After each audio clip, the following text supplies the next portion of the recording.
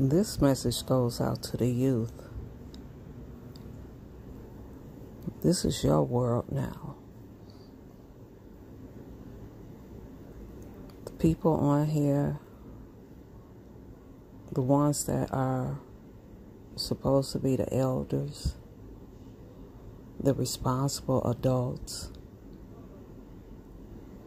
need to allow the youth to come into this platform and for them to shape their world. What this sector does to the youth is already taking away the privilege that we had when we were younger and we were allowed to shape our world. We were allowed to do whatever we saw that was needed to be done in order to make our world the way that it is. I want to personally apologize to the youth because I didn't work hard enough to make a change, to leave the youth now a world that is more loving, more caring, to give them more opportunity to make something of themselves. But now this world is in your hands. It's time for you all to shape this world into the world you want it to be. All of the speaking on one another, all of the hate that is being spoken on one another, it has to end.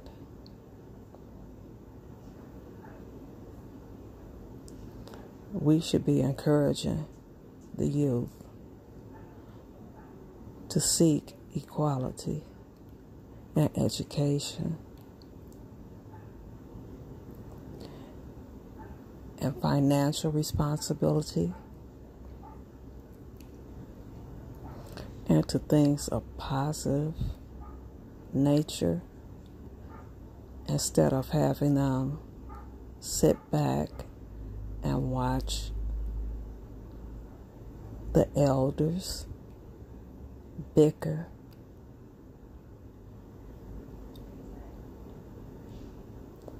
And just tear one another down. They're like dry sponges. They're just absorbing what they're hearing from people much older than them. Some people old enough to be their parents. And the youth right now are followers. We need to allow them to be leaders. And be able to stand up on their own instead of alliances with others. And those alliances causes them to have their life turned upside down. That in the short time that they've been here, their personal information them hearing older adults call people out of their name.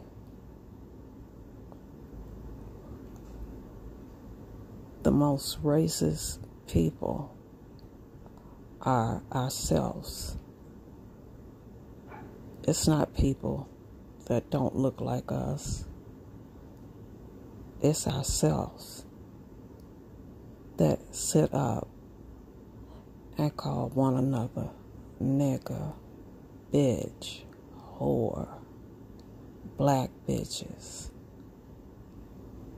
And we're speaking this knowing that there's people younger that are listening to this. Again, as I was in a replay of Kelly Love, and he had a call in. There was an elder that called in, and she pretty much felt like I did. She didn't know how she fell into this sector. And she didn't call in about the subject matter.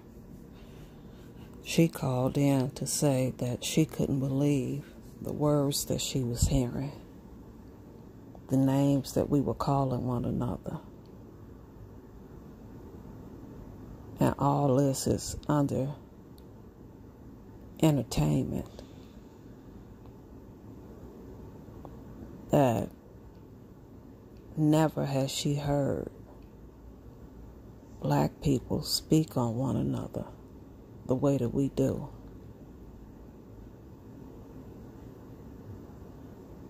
That when we're called the word nigger by someone that's not black, we really need to take a step backwards and look at our behavior, look at our words, look at what we're portraying. You now have gamers that are coming into this sector. These gamers are young adults, and they're listening to it. What kind of world do you think that you're leaving now? They're listening to people rename people. People that have an illness on them. And they take that and use it against them. And it's spread all on a platform for anyone to hear it. It's got to come a time when people stop. And all this is being done for the love of money. That there's a lot of insecure people on here that didn't get the attention when they were younger, and they found a way to get that attention in their latter years. The jealousy of one another, that one person can't have a nickel more than the next, creates just viciousness. And these kids now are coming into this platform ever since they changed Google Hangouts that now Streamlabs, Twitter, all that that they use in order to play games and in order to sit back and speak to one another, they're now seeing and hearing all of this. In order to stop racism, we got to stop hating on one another. We can't think that it's okay for us to sit up and call one another a nigger, a whore, or to go to an establishment and be a grown person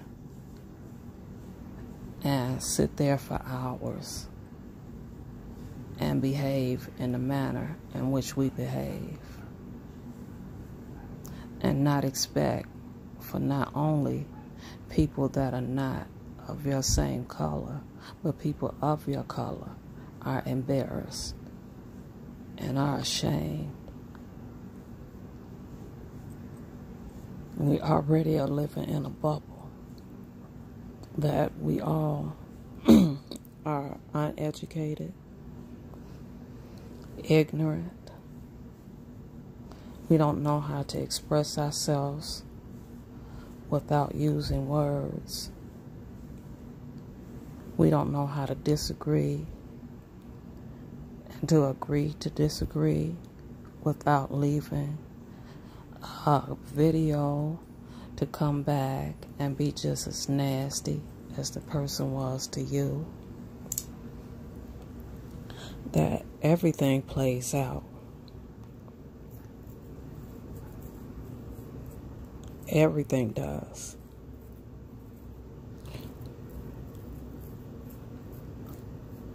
This really is most I'm going to speak on this platform.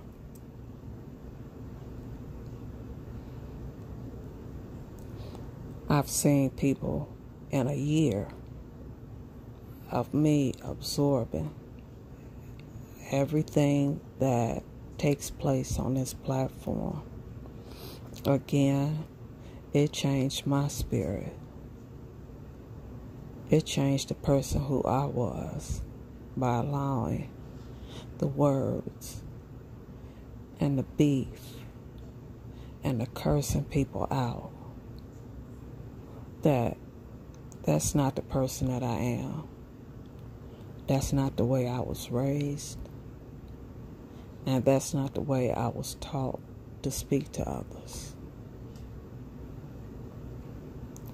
But we're more detrimental to ourselves than any other race out here. Yes, they have a section in the white community where they beef.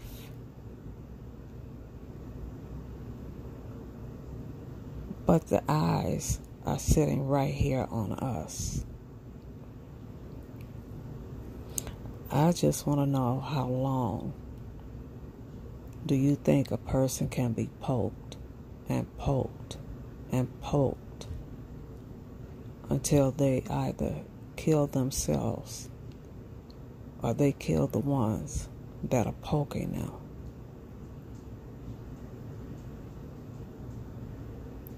You could come into this platform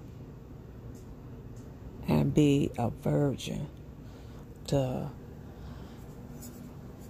all of the words that are being said, all of the jealousy over nothing, absolutely nothing. That that jealousy is that of that fallen angel who's walking this earth and collecting souls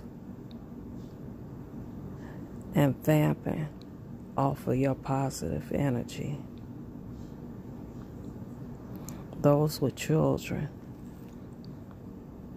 if you think they don't hear, if you think that they don't want going to remember, if you think that they're oblivious to what's going on around them, they aren't. Because for each one of us that are adults, when you sit down and talk, you can start remembering things that you saw and that you experienced when you were younger how it affected you to this point. You have people on here that don't have good relationships with their siblings that don't have good relationship with their parents because of something that happened when they were younger.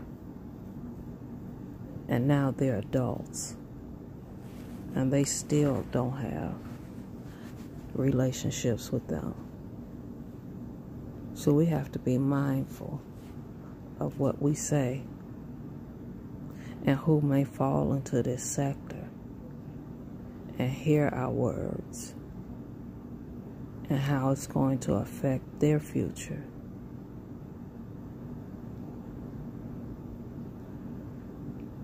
But again, we've yet to wake up. We've yet to realize that this platform is being utilized to keep us at one another's throats, to keep division between one another, to make sure that there's always division, be it because of the complexion of one's skin or the dirty hand that they were dealt as a child. That rather than them going and making peace and having peace within themselves, they take to a platform and they vent that inner anger that they're still holding on to as an adult. Yet they vent it towards other people. Jealousy is a motherfucker. Jealousy is that red eye devil.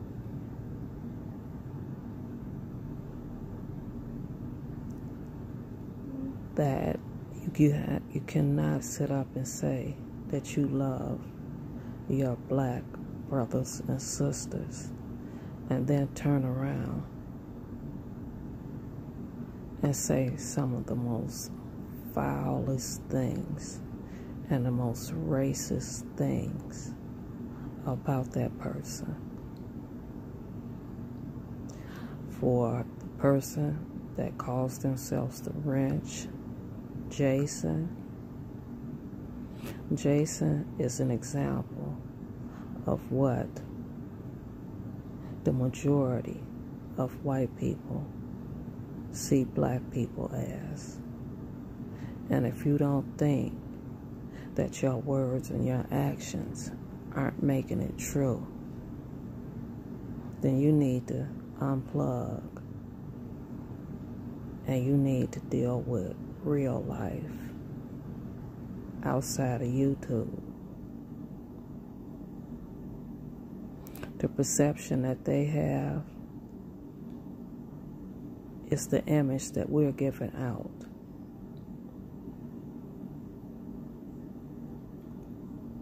and it is perception. That if you've never been around black people that speak on one another in the way that we do, I have a lot of interracial marriages in my family. And I would never want them to come on here and listen to adults speak on each other. I would never want any of the white side of my family to come on here and listen to how we speak on one another. it is a learning experience. And because one case, the commentator didn't agree with what the person said that called in after the call was over. That viewer was called all kind of stupid bitches, all kind of stupid black bitches, and what kind of world were they living in That's the point. You don't know what kind of world they were living in. You be seven years old and be called a nigger and not know what it means. You fight so that you aren't called a nigger. Or you go in for a job interview. Or you go into an establishment that's all white. And you wonder why they speak down to you or they follow you around the store. And then you have to work triple time to let them know that you aren't uneducated, that you aren't ignorant, that you don't fit the stereotype that's been put on us. And in order for that stereotype to be changed, it's not up to them to change it, it's up to us.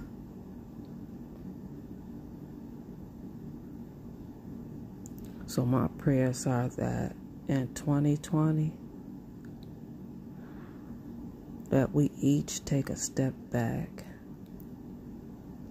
that we each listen to all of our videos, listen to the words that come out of our mouths, listen to the people that were targeted, look at people that don't have jobs, that did have jobs when they came on here, but because we can do some of the most low down things to one another, they now don't have that.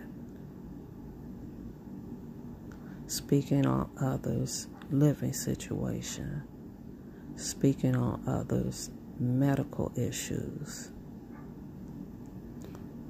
something that they can't change, but using that to hurt them,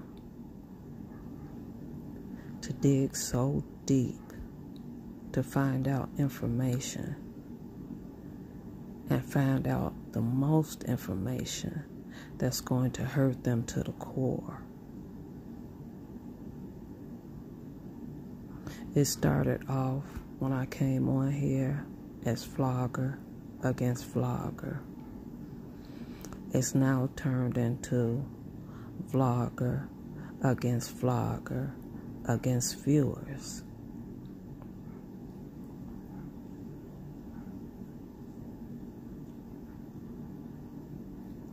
That this subject of racism needs to continue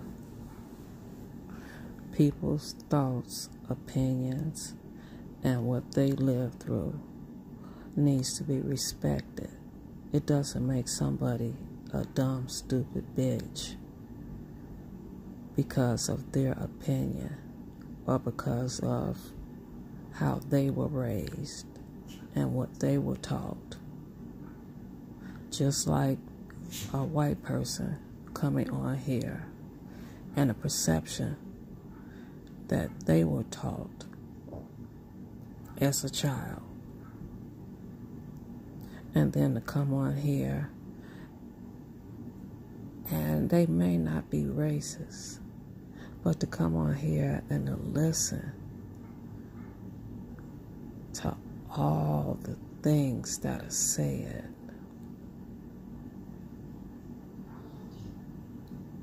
I'm not speaking on anyone's child. But we all know that when a woman is pregnant, that their emotions, that that child inside of them is capable of hearing, that whatever that mother that is carrying that child is going through, that child is going through it too.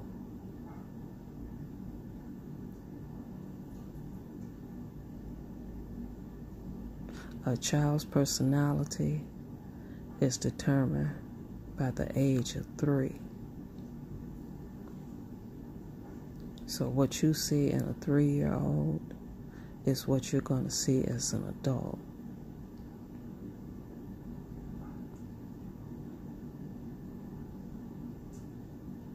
We got to do better.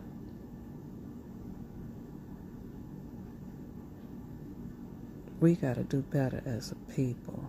We can't continue to point the finger at others. We need to stand in the mirror and point that finger right back at us. That civil rights era was a very important era that gave you the right to sit and be on a platform like this. It also gave you the power of choice, where at one time you didn't have choice, you were dictated to. And what did you decide to do with that choice?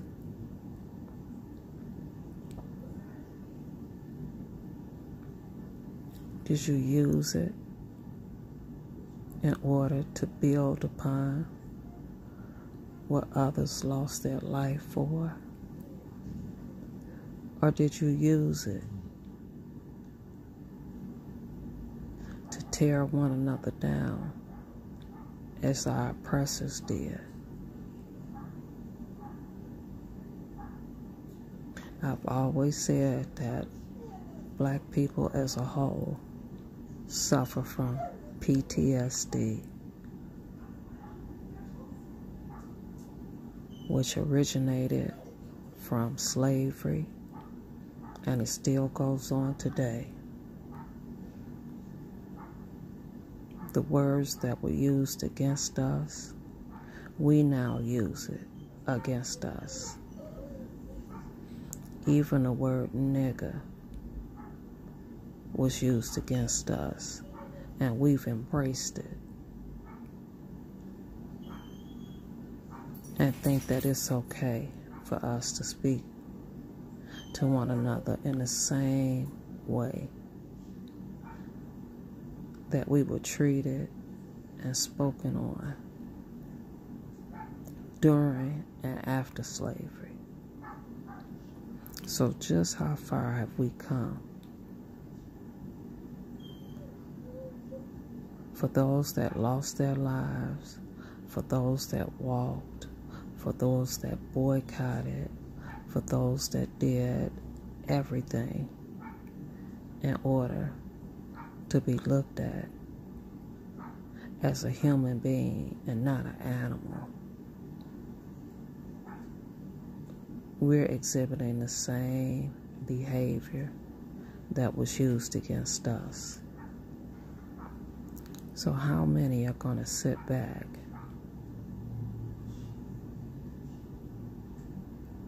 When that time changes and reflect on what we have done to help change this world? Or are we just going to sit back and wallow.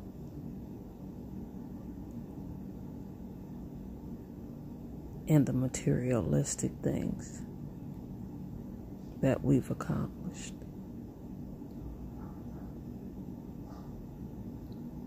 I can no longer sit back and listen to other black people down and use the same words that white people use against us.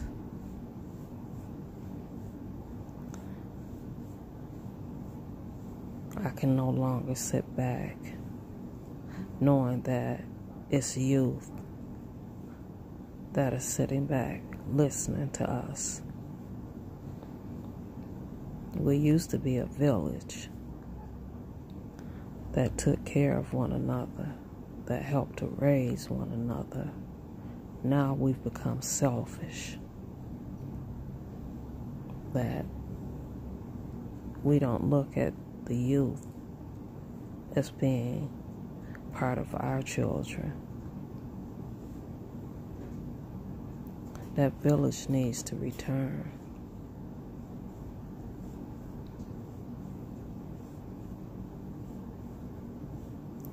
That education, and I don't mean textbook, I mean life. Education needs to be expressed to them so they can appreciate those before them. Because one day you're going to become an ancestor to them. You right now are their guiders and their teachers. But what are you teaching now?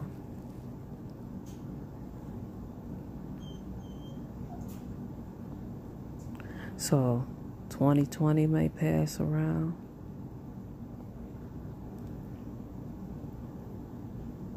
When you start studying, you realize that a year consisted of 360 days. And as usual, man changed things to suit man that it became 365 days. That new year is when everything is reborn again.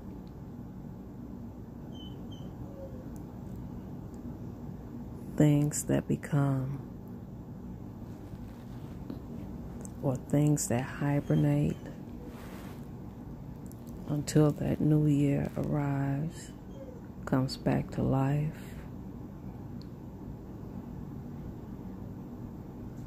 Which would be the time of rebirth of everything, which is the equinox that we call spring, that we start teaching them how things were turned around, how things that were being taught and still being taught is not the truth, to encourage them to even when they raise their children, to homeschool them. Homeschool them to the point to where they're not indoctrinated and to what they want us to know. That they're capable of doing anything. It's just who's willing to sacrifice their pleasure in order to build the future.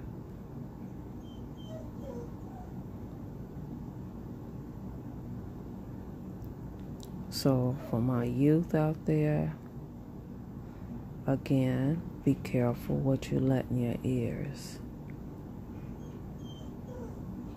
Be careful what you speak. Start planning for your future. We all are born to die. And what legacy do you want to leave behind? What footprints are you going to leave behind for your children?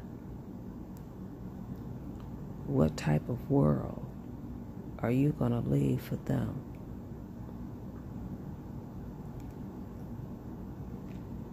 There's so much going on in the world that's being done right before our faces that no one is speaking on.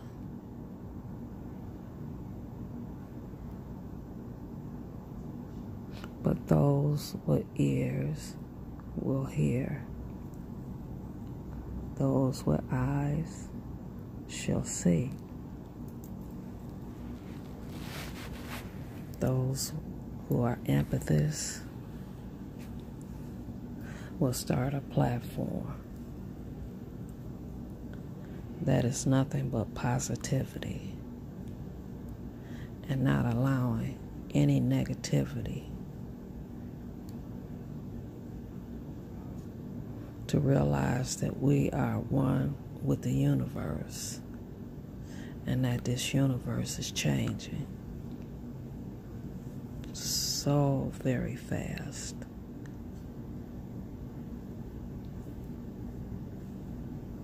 So, to the youth out there, the college students out there, those who may have started college and still have years to complete,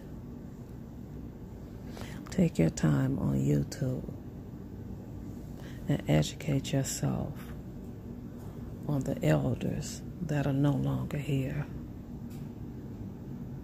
Think about everything that you have lived to see.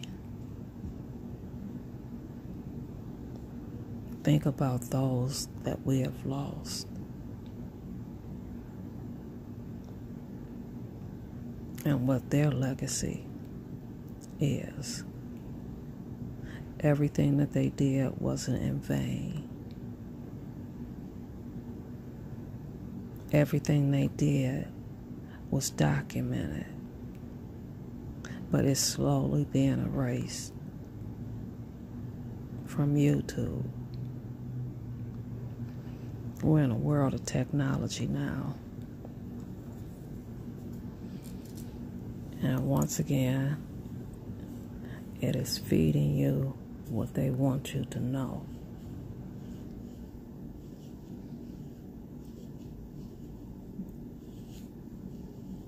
So, elders, Please guide these youth in the right way. Yes, a lot of changes are happening with YouTube. Yes, they're pushing streaming. They're now starting to compete against cable companies. Yes, a lot of people that are taking out their streaming are complaining about this sector and not knowing how they got into this sector, not understanding why Google is allowing this sector to continue. Yes, there's going to be a lot of pages shut down.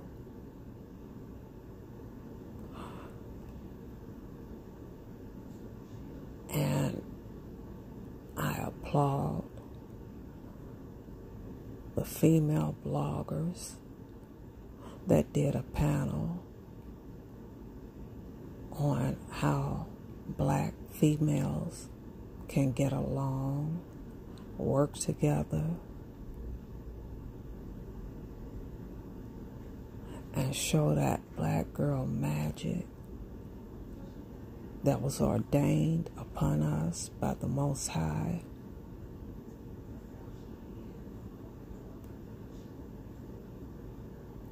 Our men have been torn down so much that we have to help to build them back up. And this is a platform that consists mainly of women. Some single parents with sons.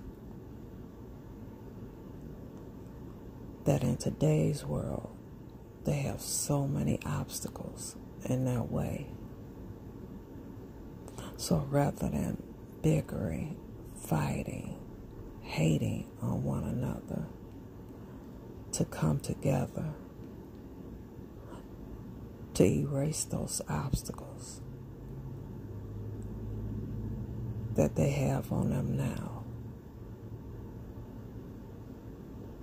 I claim that it's going to happen.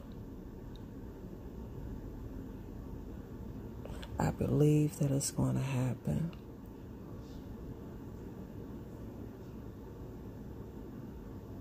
And those speaking positive, don't even bother looking at the comments.